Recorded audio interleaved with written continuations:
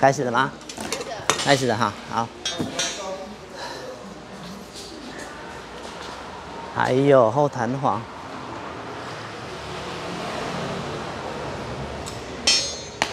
Hello，各位粉丝团的朋友，大家快中午了哈，中午午安。呃，今天要介绍的车款，之前因为安装了几台啊，但是应该有开过直播哈。那呃，这一次的直播是因为这一款车是车主才交车没多久，我刚刚有看到那个碟盘的一个 camber 的 cam 码的一个痕迹哦，都还在，所以是等于是新车了哈。那这一款车是 Toyota 的 CHR，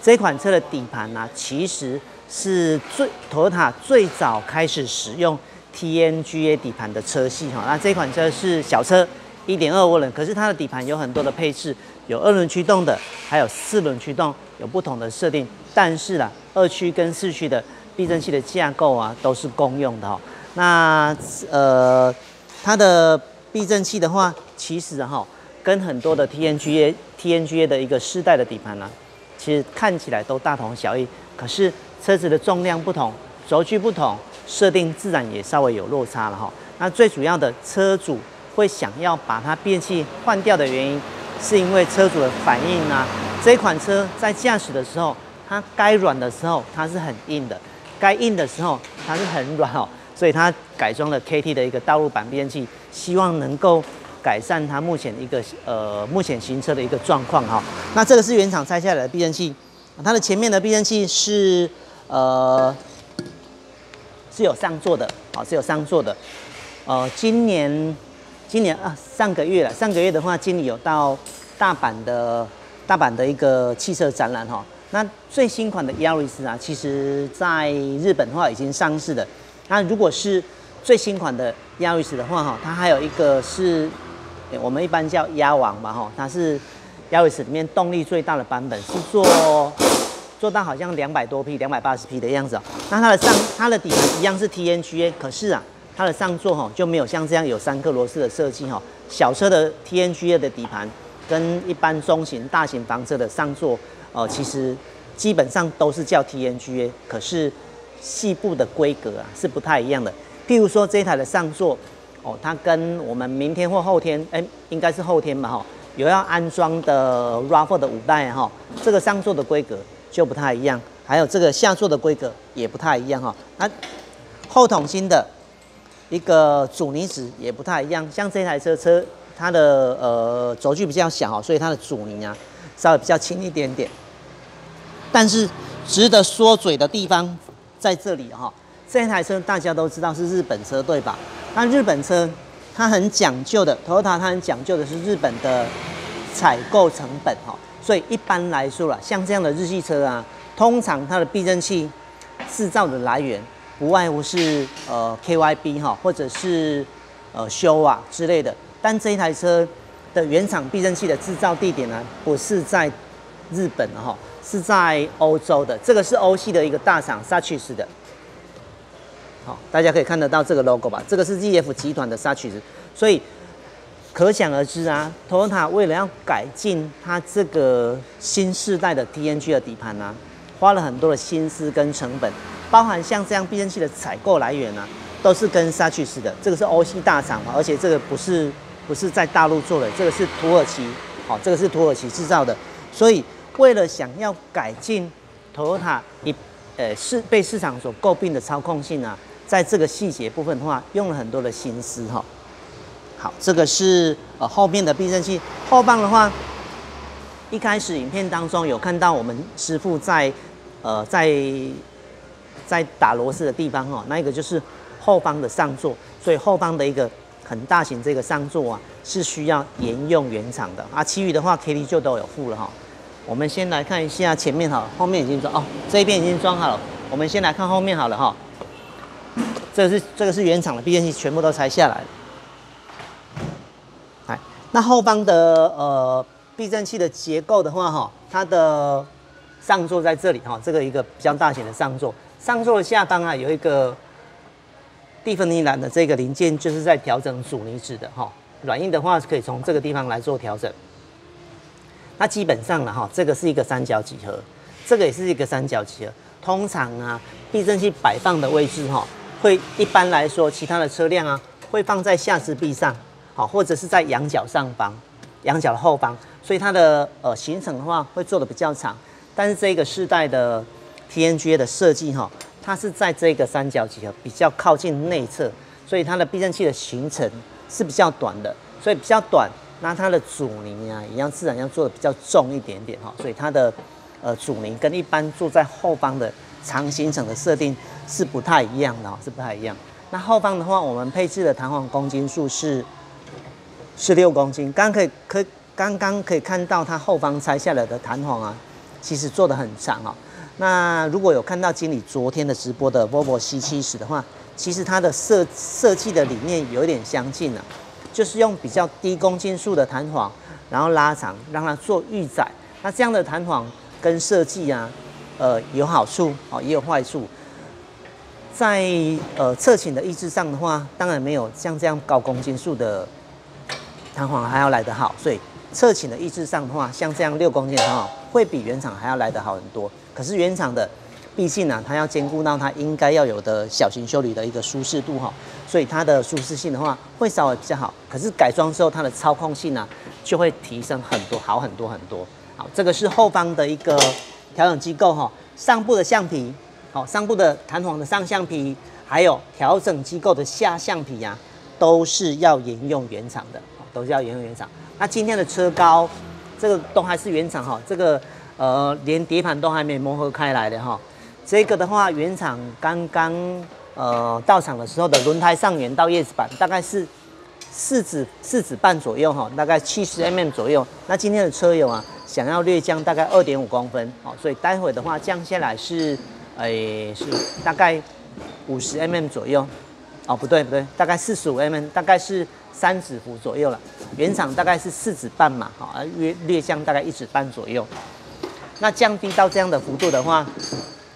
后轮 camber 是还不至于的哈，不至于会改变太多。所以像这样降幅的话，是还不需要用到后方的仰角调整器。可是，一旦降幅比较多的话，因为这台车只能调后轮的 camber 角度啊，后轮的投投影角度，camber 的话是会微幅改变。所以降幅要很多的话，就会建议车主啊，要改装后方的仰角调整器哈。那好像是后哎后天吧，后啊不对不对，是下午而已。下午的话是 RAV4 的五代哈，哎这一位车主的话可能降幅有要比较多，所以就会一起安装仰角调整器。可是下午的呃直播有可能不会在自家公司里面，有可能会在社团里面哈。那有兴趣的话。再跟我们小编要影片好了，哈，那今天的话是主要是要介绍 CHR 部分，然后这个轮胎铝圈都还原厂的，原厂的是十八寸的二一五，哎不对，二一五六点十七，那这个轮胎应该原厂也有两个级距耶，之前来的好像是十八寸的哈，啊这个是十七寸的，有十七跟十八的规格。好，后方的话大概是这样子的，那后方还有一个安装的重点，每次经理都会讲的哈，就是它的筒身啊。不能缩得太短，因为缩得太短的话，它的弹簧就预载过多了哈。所以这个后方在安装的时候要特别注意一下，它的筒身不能缩得太短。好，后面大概就这样。前面的话是哪一边哈？好，前面的话比较简单啦，前面是一个类似一个麦花臣的悬吊系统，所以前面的话安装呃大概有几个重点，就是因为它的上座哈 TNG 的车系啊。这个毕竟是一点二升的小车哈，所以它的座舱啊，为了让车室里面的空间加大，所以它的前挡玻璃都是往前延伸的，所以它的上座是在这个地方。那在拆装的时候就稍微比较麻烦了哈，因为它上座有三颗螺丝，可是这三颗螺丝啊是在这个饰板之下的，所以需要把这个雨刷还有这个饰板拆开之后，才能拆得到这避震器的三颗螺丝。那这个本来的板件呢是盖平的，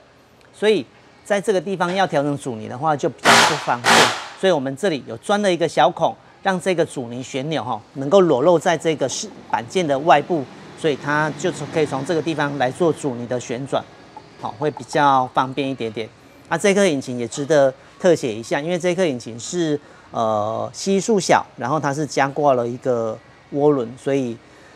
即便是只有一点二升，可是它的动力还有整体的表现的话，油耗节能的。的整体表现都相当的不错，嗯，好，那我们来介绍避震器的哈，前面大概是这个样子的。那下部的话是，诶，这一台车哈，TNG 的话，最主要的是它的，因为要改进操控嘛，所以不外乎是避震器用心，然后下方的防倾杆加粗，像这一款车啊，它的防倾杆加粗的比例啊，比以前的车系哇加的非常非常粗哈，所以防倾杆上，防倾杆连接上来的这个叫离载串，离载串连接上来的才是避震器。所以这个离载串的锁点啊，这个就跟原厂一样，不需要再改装，哎，改短的离载串哦，或者是改可调式的都不需要。万一啊，日后可能开个呃四年五年之后，离载串坏掉哈，因为这个离载串是消耗品的哈，我们在转方向盘的时候，它离载串会做动，所以它离载串万一坏掉的时候，就直接用原厂规格就可以了。然后这里有一些离载串的哎离那个油管固定架，还有 ABS 感应线。还有这一边的话，有一个 ABS 是感应线的扣具，好，这些扣具的话就是都用原厂的规格。那这一台车前轮的话，其实我们还有做了一个细小地方，就是它前轮的螺丝孔啊，是做一个椭圆孔，所以前轮是可以微调，呃，前轮的 camber 的角度哈，在定位机上的话，就可以比较能够做出呃适合车主驾驶的一个定位的角度。那前面的弹簧一样，因为这台车是小小型的修理车啊，所以舒适度还是一样很重要哈。前面的话，我们配置的是七公斤的灯笼状弹簧，它的配置跟 RAV4 的弹簧是一样的配置哈，都是七公斤，然后做一个灯笼状弹簧，会让它的整体的舒适跟操控啊比较有办法兼备哈。那这台车其实啊，可以降到非常低耶，呃。最低的话哈，大概可以到剩下大概一指半指幅左右哈，所以我们这台车能够调高的范围，呃，最高哈，就是像今天这样子，几乎就最高了哈，大概是三指幅再多一些些。那最低的话，可以到轮胎跟叶子板剩下大概半指幅左右的一个车高，所以调高跟调低的范围还算蛮多的了。那另外就是像这样的设计呀。不论调高或调低，毕竟呢不是靠压缩弹簧的方式去改变车高，所以它能调高跟调低的范围啊，算是还蛮宽裕的。另外，KT 的用料其实相当的不错哈，像是在里面填充的阻尼油啊，哇，我们是用意大利一整桶进口的 IP 的阻尼油。像是油封的话，这个就更厉害了哈。像这个车系，因为油它是日系车，所以有很多的车友啊。选择是日本 TIN 的品牌，好 T E I N 嘛哈，TIN 的品牌。那日本 TIN 的品牌是日本最大产量最大的一个改装避震器的品牌哈，所以它的呃品质的话也相当的不错。那 TIN 哈，它所使用的油封啊，攸关到避震器最重要的油封，TIN 使用的也是日本 N O K 的油封，KT 的使用的一样是日本 N O K 的油封。这个油封的品牌，如果车友们对这些品牌比较陌生的话，可以在 Google 上面打上 NOK，呃，空白 Orange 或者是 NOK Parking 哈，它就有很多一系列的介绍。这个算是日本油封界的龙头老大哈，所以它的品质的话相当的不错。虽然价格不是贵个一层两层，是贵个几倍的哈，可是它的品质会让整体的一个寿命啊有正面的提升，所以我们还是持续都是使用日本 NOK 的这些系列的油封哦。那上座的话，这些零件呢，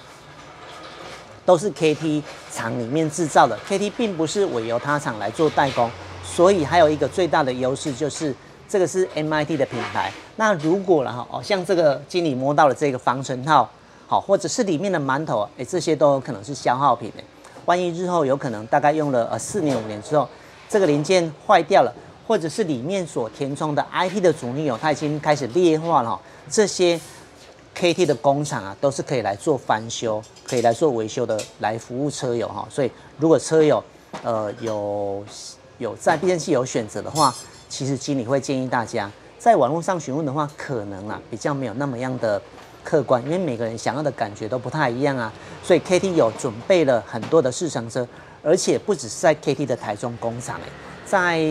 KT 北区的经销、KT 中区的经销、南区的店家哈，我们分别都有。不同车款的试乘车可以提供给车友来试乘。那如果车友们试乘之后满意了，再来考虑 KT 的品牌就可以了哈。那如果车友们有需要试乘，有任何问题，都很欢迎跟我们小编联络。好，今天的直播就到这里，谢谢大家，拜拜。